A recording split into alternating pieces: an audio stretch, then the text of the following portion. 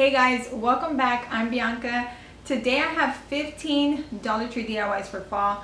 I know I mentioned I wasn't going to do any fall DIYs till August 1st, but I just been so inspired from all of the decor at like Kirkland's and Hobby Lobby.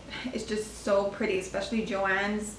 They have some really pretty fall decor this year. So I hope you enjoy these. These DIYs are actually from the past two years that I've done fall DIYs. So I rounded up some of them and I hope you enjoy them. Let me know what you think and let's get into the video. For the first one, I'm going to make over this Dollar Tree pumpkin. I'm going to add Mod Podge to the stem and then add that really pretty glitter, but I do think you should do that last. So I would paint the pumpkin first.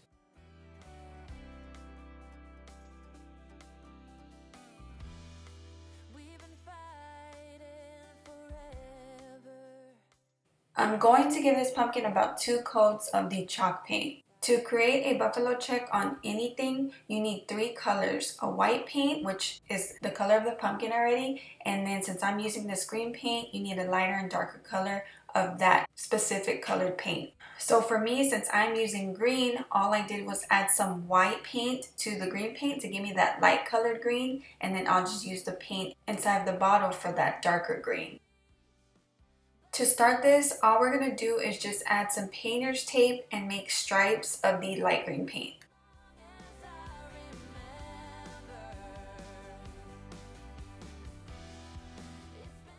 Once the stripes are dry, I'm taking a small brush and using the paint inside of the bottle, which would be my darker green paint, and just adding squares onto the stripes. Lastly, we're taking that light green paint for the last time and adding it in between the two dark green squares.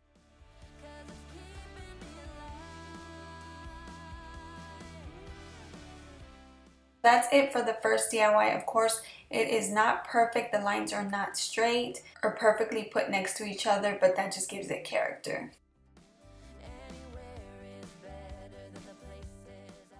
For this next one, we're making a very simple fall pillow with these Dollar Tree felt leaves and I'm just using a pillow I already had. So I turned it around on the back and now I'm arranging these felt leaves into a wreath.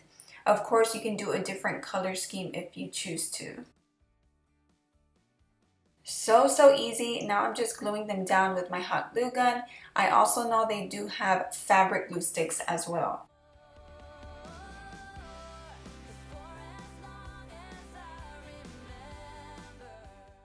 For this third DIY, I have a Dollar Tree base and some ribbon.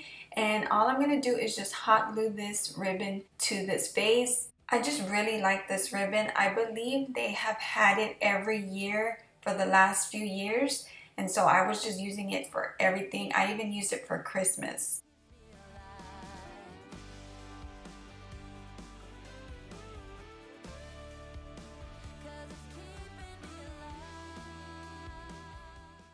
And as you can see, I'm just folding it at the bottom of the vase.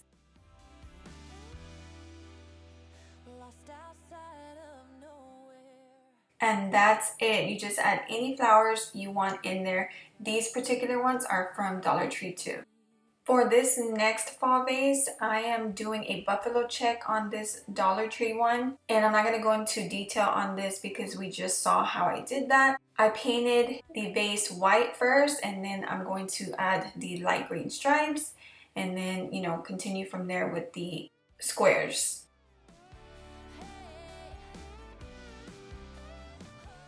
So right here I'm adding some Dollar Tree flowers with greenery that I had. Lastly, I'm using this pig with some twine around it just to wrap it around the top of this vase.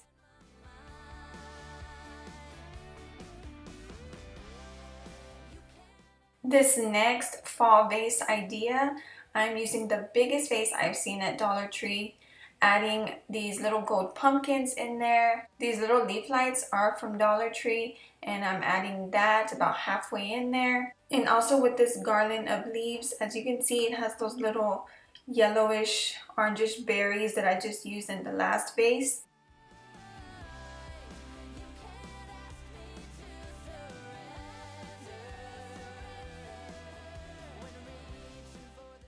For this one, I'm using one of those styrofoam pumpkins again from Dollar Tree, removing the little stem in the middle, which is just attached with a toothpick. So I'm to make a center piece with this. I'm just to take my scissors and create a hole in the center first. Don't worry about how the hole looks. We're to cover it with that ribbon. So I'm adding hot glue right here. I'm to stick the ribbon on the inside of that and wrap it around at the bottom to the opposite side and add more glue. And we're going to keep doing that until we wrap the whole pumpkin.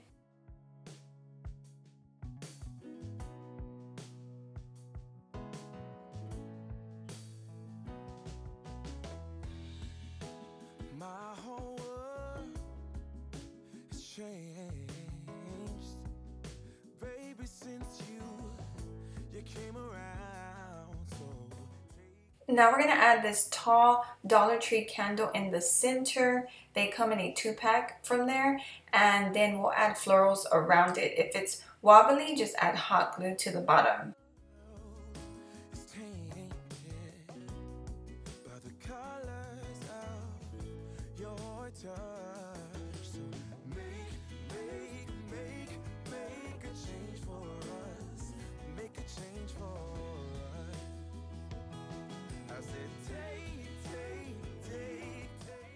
I'm creating a garland with these Dollar Tree pumpkins and what I'm going to do is paint them all white first because we're going to do a gray and black buffalo check. So as you can see I have the gray and black paint right here. Once that's done, we'll make the gray stripes on here. Sorry it's a little blurry, but what I'm doing is just using a piece of paper. I did try to use tape and it was ripping up the white paint. I'm just doing two stripes.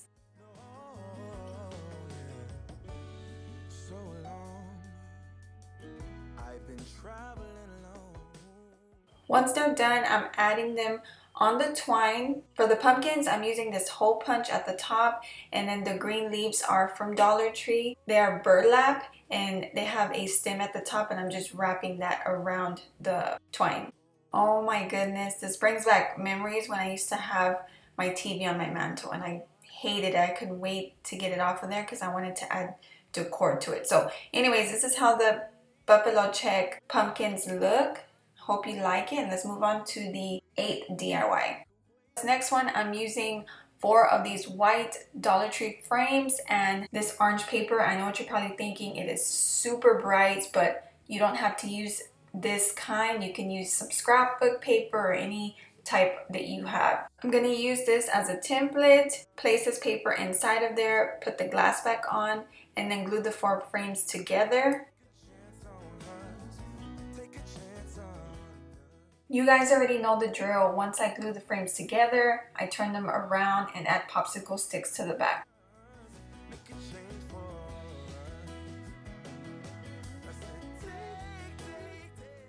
After cleaning up the glass, I'm adding this Dollar Tree wreath and then this Dollar Tree gather sign.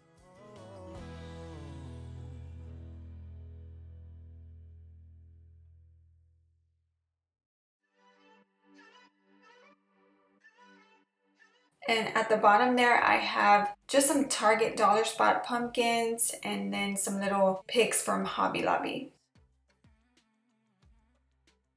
For this Dollar Tree wooden pumpkin, I'm using these two paints, mixing them a little together just to brighten up that red paint. Now I'm going to take these metal words from Dollar Tree and use one of them on there and then take some of these wooden leaves and stain them to add them to the pumpkin. I believe this is the Jacobean stain and then I'm going to use this territorial beige for the galvanized sign just to make it look a little rustic.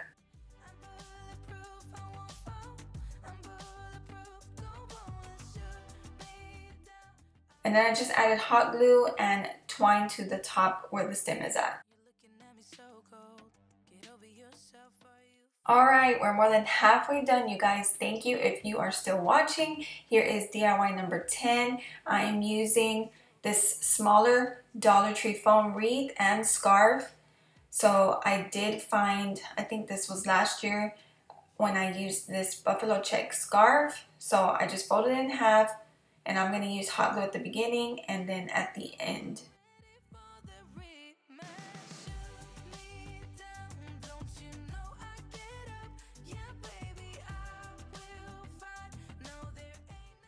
And then I'm going to add these felt leaves. Pick any color that you want to use on here.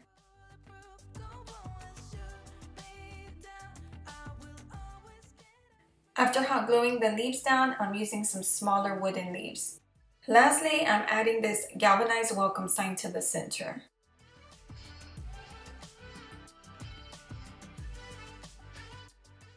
For this DIY, I'm using a Halloween sign that has four pumpkins. I'm going to use the back side because this side has lots of glitter. Once all of that is removed, we are going to give it a good coat of white paint because guess what? I am doing gray buffalo check on here. Again, you've already seen the way I've done it, so I'm going to kind of speed up this part. Since I'm doing gray buffalo check, I'm doing light gray stripes first, then dark gray squares, then I finish that with the light gray squares.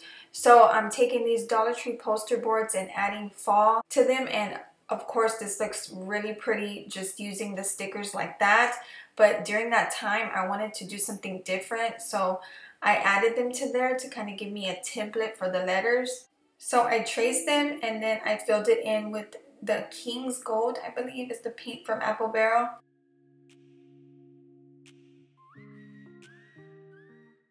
And now I'm connecting them with that same ribbon and I will add twine to the top to cover up that hole.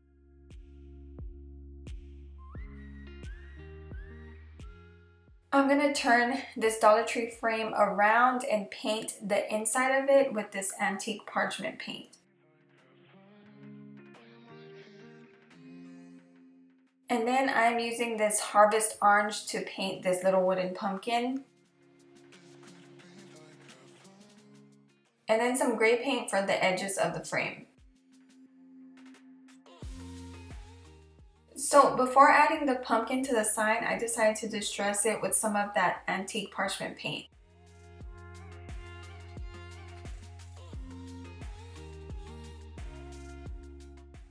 And then after adding thankful right there, I just sat it next to this orange buffalo check pumpkin.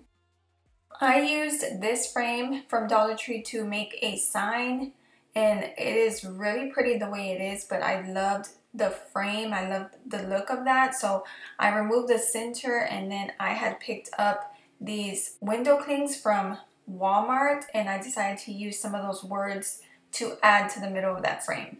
Now I think it would be best to use a piece of poster board to put on the frame, but back then I used a piece of cardstock. I lined up that paint by adding some white or antique parchment to it.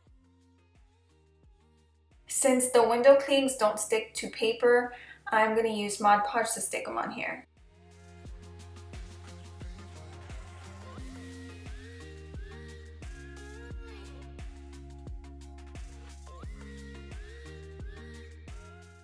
So after hot gluing the sign on, I'm adding these wooden leaves. I'm just painting them with that antique parchment again, and I'm gonna glue them to the frame.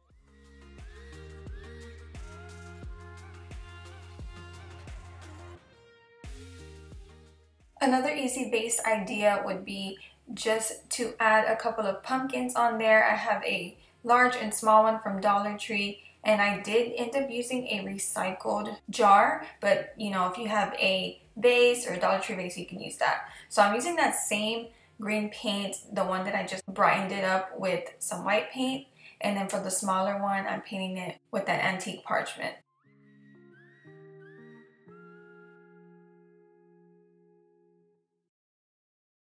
I'm going to add these beautiful fall flowers from Walmart inside of there. I cannot wait to take these out. I love that burnt orange and burgundy color.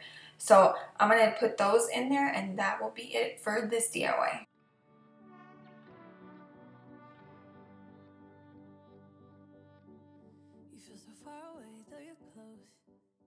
I'm using this sign for this next project. You can use any one from Dollar Tree though. I'm going to use the opposite side and to cover up the holes, I'm going to use this Dollar Tree spackle. So I know they had different colors of this type of basket from Dollar Tree. So you can pick up any one. I remember then I only found this one. What I'm going to do is paint it with this paint and then let it dry. And I think I gave it about two coats. Now we're going to work on the sign. I'm sanding down that spackle and then I'm going to paint the whole thing with my white chalk paint. To distress this, I'm using my Jacobean stain just with a little piece of rag and then once I smear that on there really well, I'm going to use a ruler and a Sharpie to create two shiplap lines or faux shiplap lines.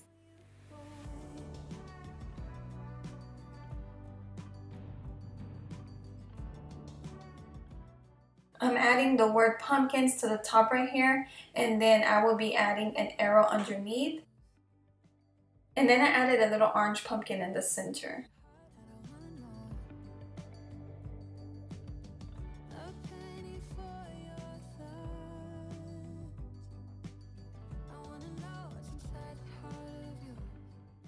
And then I use a stencil to add fall to the front of the pumpkins.